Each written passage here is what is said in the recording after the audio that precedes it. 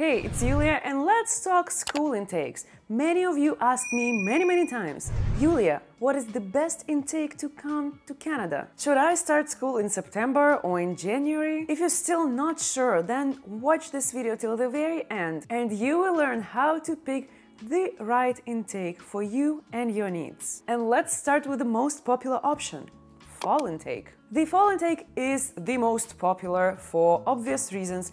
For years and years, we've been used to starting school either on September 1st or on the first week of September. And we also used to end in the school last week of May, beginning of June. So if you want to start your new program right after graduation, fall intake was made for you. Most of the programs will start in September, but for some programs, that is the only option available. I saw some nursing programs at my college and they will only start in September. That's the only intake they have. There are definitely more seats available for local students, for international students, more funding like scholarships and grants. But please bear in mind that a popular intake means a lot of other things. For example, more competition. In Canadian colleges and universities, seats are based on first come, first served basis. If you don't meet the deadlines, you will be placed on the waiting list, and who knows if it's gonna ever reopen.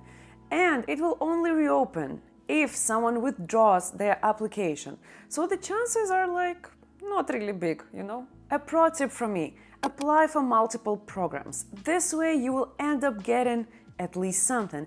And if your first program of choice is waitlisted and you get accepted to your number two and three options, and then this space opens up, you can always withdraw these two and take your program of choice.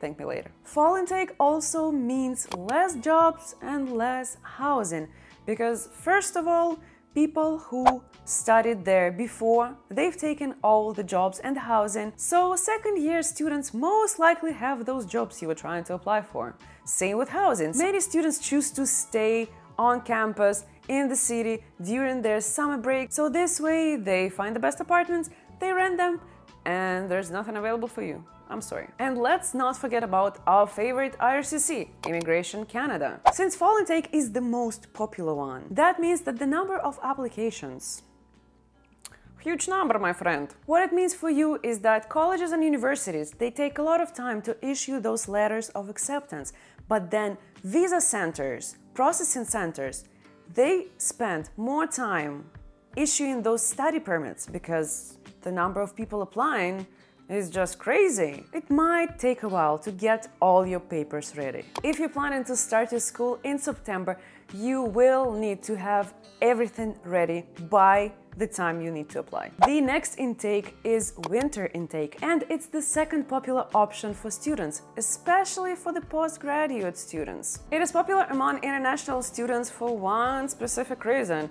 If you missed the fall deadline, Winter is four months apart from fall, so you can always apply for the next semester and come a bit later. So let's say your visa is delayed and you got it like in October, you can always transfer to winter intake and start your school a bit later. There are definitely less students, less competitions, but also less seats available. The amount of programs vary from college to college, from university to university. You should always check that online. And speaking of competition, I personally applied in November, got everything ready, and I was in class in January, so you understand.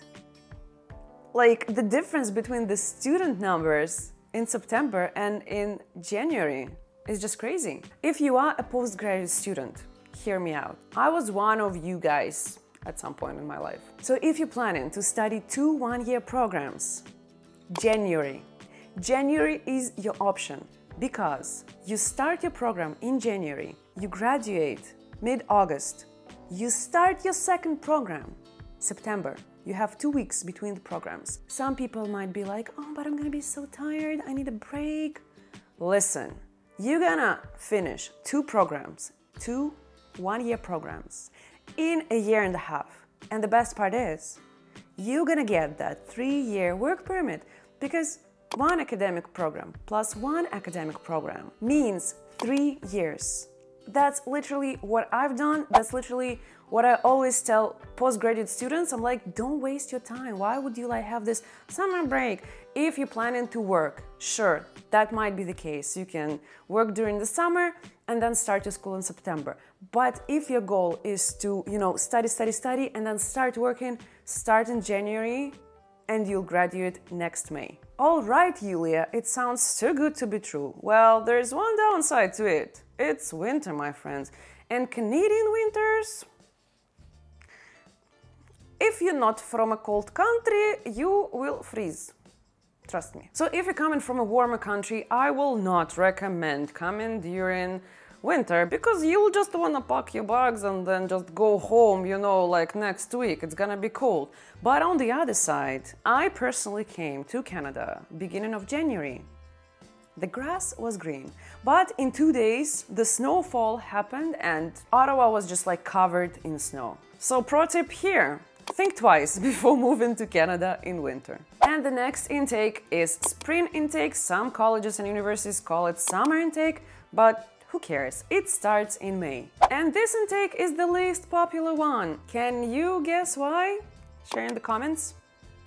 Exactly, because there are much less programs available in spring intake. But you know what? I feel like that's a very underestimated intake for a few reasons. Listen, all the fall students, they finish school in May.